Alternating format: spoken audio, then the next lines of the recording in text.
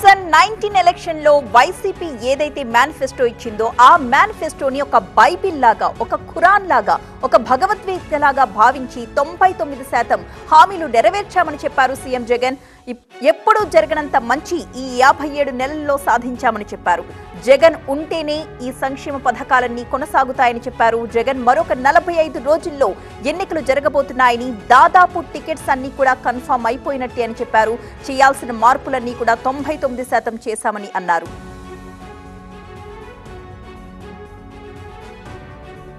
మొట్టమొదటిసారిగా గ్రామాలలోనే ఒక మహిళ మహిళా పోలీస్. ఇవన్నీ కూడా ఎప్పుడూ చూడని విధంగా జరిగిన మార్పులు.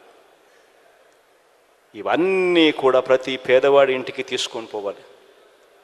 ఇవన్నీ కొనసాగాలి అని అంటే కేవలం మళ్ళీ జగన్ అయితేనే ఇవన్నీ కొనసాగుతాయన్న మెసేజ్ తీసుకొని పోవాలి.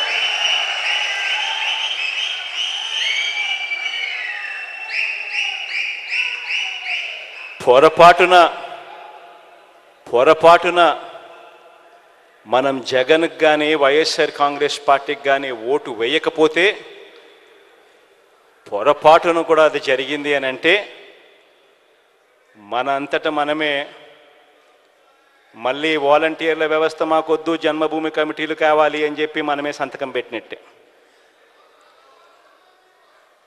మనంతట మనమే మేనిఫెస్టోను ఒక బైబిల్గా ఒక భగవద్గీతగా ఒక ఖురాన్గా భావిస్తూ ప్రతి నెల సంవత్సరం పొడుగునా ఏ నెలలో ఏమి ఇస్తాము ఏ పథకం వస్తుంది అని చెప్పి ఏకంగా షెడ్యూల్ ఇచ్చి క్యాలెండర్ ఇచ్చి ప్రతి నెల కూడా అమలు చేస్తూ ఉన్న ఈ పథకాలన్నీ కూడా మనమంతట మనమే వద్దు అని సంతకం పెట్టి ఇచ్చేసినట్టే.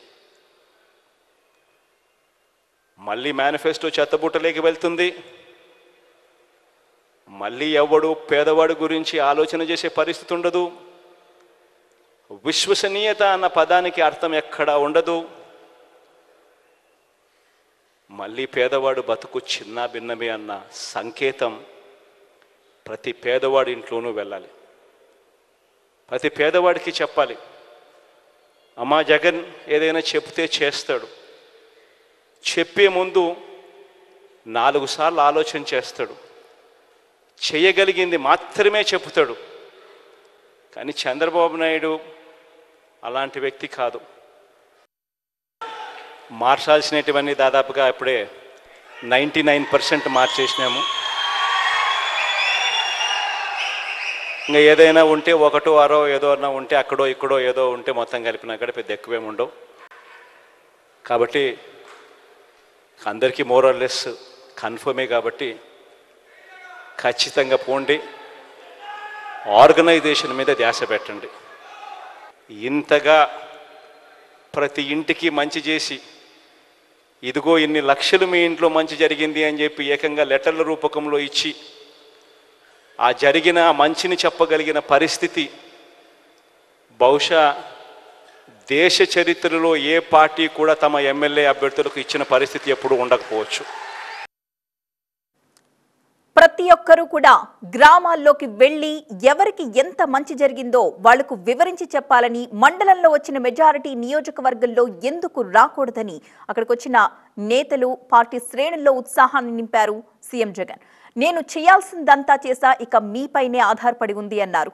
ఏ నాయకుడు ఇవ్వని ఆయుధాన్ని మీ చేతుల్లో పెట్టానన్నారు. నలభై ఐదు రోజుల్లో ఎన్నికలు రాబోతున్నాయి. ప్రతి ఒక్కరూ కూడా పార్టీని గెలిపించుకుని తీరాల్సిన బాధ్యత ప్రతి ఒక్కరి మీద ఉందని అభిప్రాయపడ్డారు. నూట డెబ్బై ఐదుకి నూట డెబ్బై ఐదు గెలిచి తీరాల్సిందే.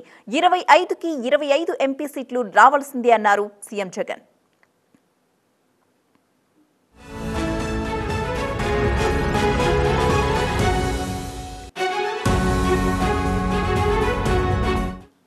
ఏ నియోజకవర్గం అన్నా ఉండని కుప్పం నుంచి ఇచ్చాపురం వరకు. ఏ నియోజకవర్గం ఉండని. ఇదే పరిస్థితి ప్రతి నియోజకవర్గంలో కూడా జరిగితే చేయగలిగినది ఏ ఇంట్లో ఎంత మంచి చేశామని ఏకంగా లెటర్లు తీసుకొని పోయి అక్క మీ ఇంట్లో ఇన్ని లక్షల రూపాయలు మంచి జరిగింది అని చెప్పి చెప్పగలుగుతా ఉన్నాం. మరి ఇంత మంచి జరిగినప్పుడు ప్రతి ఇంటికి ప్రతి గ్రామంలోనూ ఎందుకు మెజారిటీ రాకూడదు? ఆ గ్రామంలో వచ్చే మెజారిటీ ప్రతి మండలానికి ఎందుకు రాకూడదు? ఆ మండలంలో వచ్చే మెజారిటీ ప్రతి నియోజకవర్గానికి ఎందుకు రాకూడదు అని అడుగుతా ఉన్నా.